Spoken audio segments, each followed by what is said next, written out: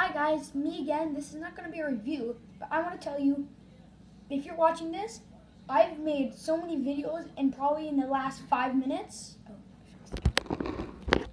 And don't, like, right now, I'm not probably going to make any more other than this. I just want to tell you that maybe in about half an hour or so, I'm going to go to my mom's and I get to play GTA 5, Little Big Planet. And I get to play all those classical games and non-classical games.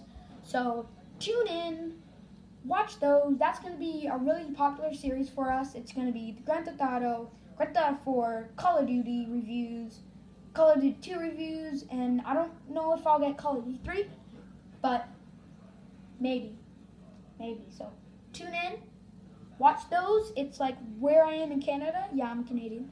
It's 11:30 exactly. So, yeah. I hope you enjoyed. This is basically a minute video about nothing. But yeah, hope you enjoyed and tune in later to see Grand Theft Auto 5 videos.